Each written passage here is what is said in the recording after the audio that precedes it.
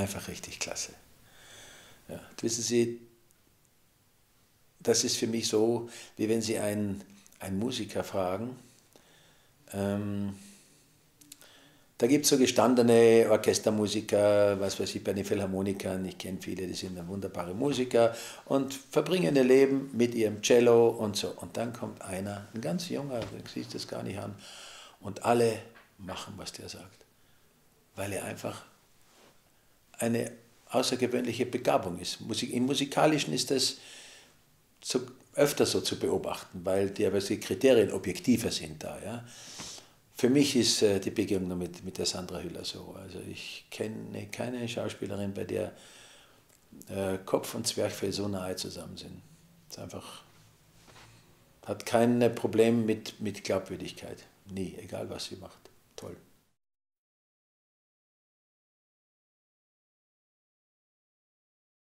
Also das war sozusagen, ich glaube, das Grundanliegen der Regisseurin was man ja meinen möchte, was müsste das Grundanliegen eines jeden Regisseurs sein, der einen guten Film machen will.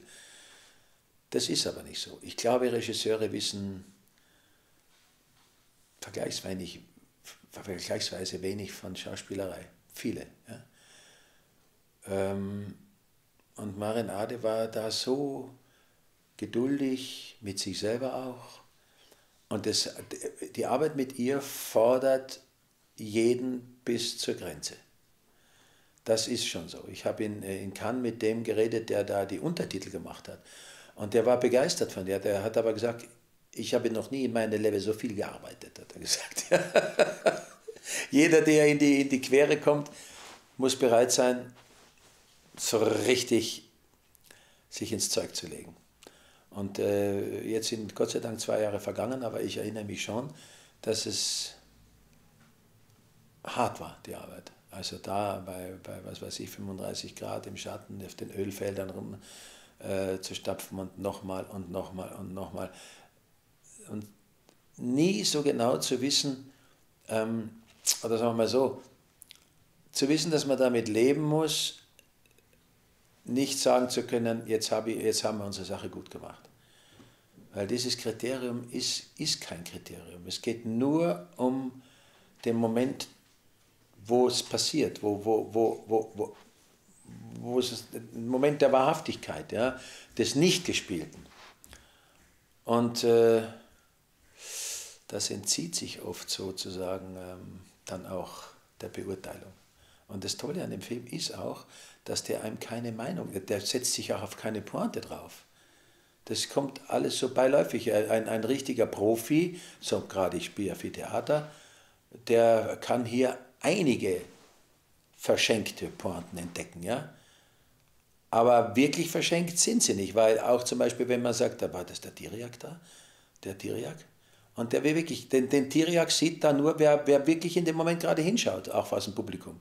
Dann, sonst haben sie ihn verpasst. Ja? Jeder andere würde sagen, Tiriak, dann machen wir ein extra Insert, machen wir einen Schnitt auf ihn, auf den Tiriak, so, und da sitzt dann, das lassen wir so und so. Das, alles das macht sie nicht. Also hat, finde ich, großen Respekt auch äh, vor der Aufmerksamkeit des Publikums und traut denen viel zu, den Zuschauern. Und da fühlt man sich wohl als Zuschauer.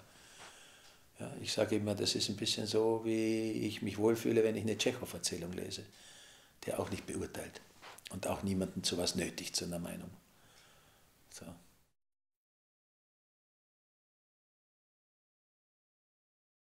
Ja, ich, äh, ich, ich finde es nicht nötig, äh, sozusagen die Schublade zu finden, wo er reingehört, der Film. Für mich ist es, äh, es ich finde ihn hochpolitisch, wenn man ihn so sehen will. Ein, ein Ausschnitt aus, aus unserer Gesellschaft, durchaus, ohne irgendwelche irgendwie dogmatisch zu werden, sondern und das, äh, sie kann eben nicht nur äh, geduldig und gut äh, einen Film machen und drehen, sie kann auch super gut schreiben. Sie hat zum Beispiel auch für, für Casting immer extra Szenen geschrieben, weil sie nicht wollte, dass sich die Szenen irgendwie abnudeln und schon verbraucht sind vom Casting, dann, die man dann im Buch hat.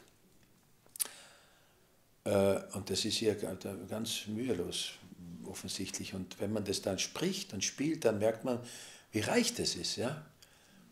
Also ich finde, politisch hält das Ding super stand.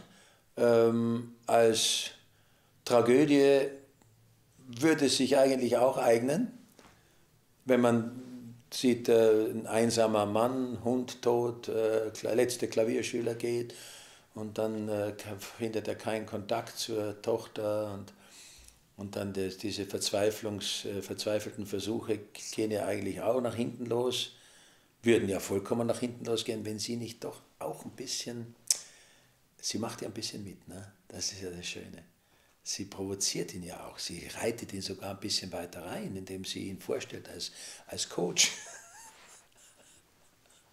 also ja, ich, ich finde, es ist wie jede gute Komödie, kann man auch ein bisschen, also ich habe geweint.